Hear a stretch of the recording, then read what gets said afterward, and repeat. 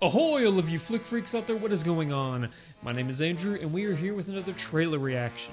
The trailer we're going to be watching today is for the upcoming film Godzilla Resurgence. That's right, ladies and gentlemen, we are going back to Toho Scope. Toho makes the best Godzilla movies. As much as I love the 2014 movie, and I did love it a lot, it was great, you just can't do better than a classic Toho Godzilla movie. I don't know if he's going to be fighting any villains in this or not, but I grew up. Literally, Godzilla was my childhood pretty much. Um, I had all my favorite villains Gigan, King Ghidorah, Biollante. Uh, I remember he fought Gamera once. Uh, Anguirra. He. Uh, who else did he fight? I know he was uh, allies with Anguirra once. Uh, King Caesar, uh, Jet Jaguar. I mean, there's just so many fond memories I have of like Godzilla and Mothra and Rodan. All of them. They were all fucking great. Really excited for this movie. Like I said, don't know if it's to be like where Godzilla is the hero and he's coming to save the day, or if it's one of those where Godzilla is the villain and they just have to try and stop him. But it can't because he's a force of nature and you can't stop nature. That's really the Godzilla movies I always enjoyed. So, uh, yeah. Without further ado, let's just jump right into this trailer and see what they have for us. So, here we go. Toho Scope. Oh, he looks cool. I like that shot. He's got a long ass tail. That tail's like twice as long as he is. Oh, he looks cool. Oh, whoa!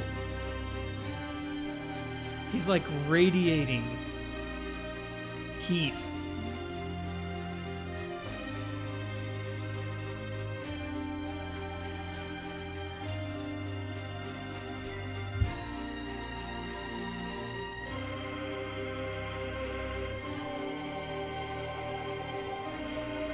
Panic. Oh no! Hope Akasan wasn't there. Yep, you gotta. Oh man, I kind of miss the old Toho where they had the uh, the toys. You know, good fucking god! Look how long his tail is. He's got really short arms. He's got like a step above T Rex arms.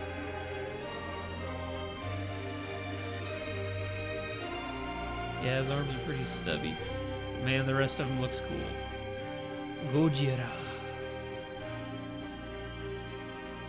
IMAX? I hope it comes to IMAX in the United States.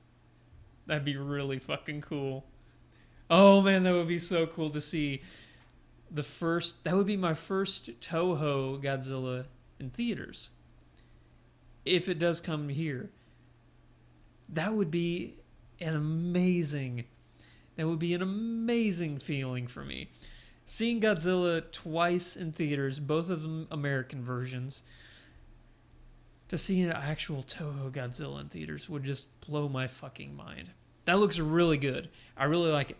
No speaking in it just that that music just the uh, the music was actually kind of beautiful. It gave you the sense of yeah this is a force of nature. It's not like you're being punished for anything. This is just the way this world is.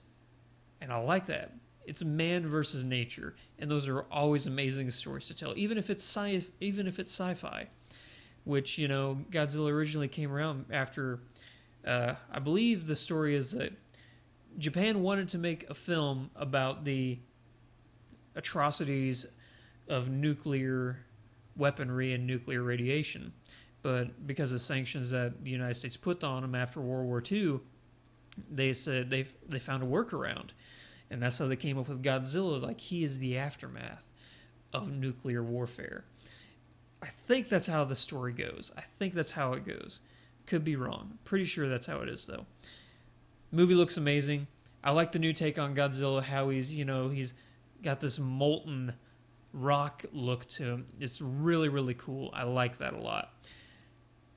I'm excited.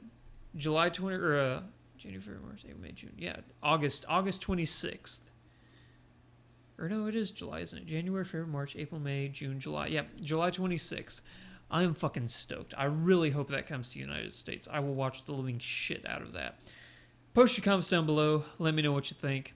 Appreciate everybody watching. If you wouldn't mind, hit that subscribe button right there. And if you check them in the top right corner, you're going to see a little card icon. That'll take you over to the Flick Freak store where we got t-shirts, coffee mugs, phone tablet cases, all the great paraphernalia you could ever ask for.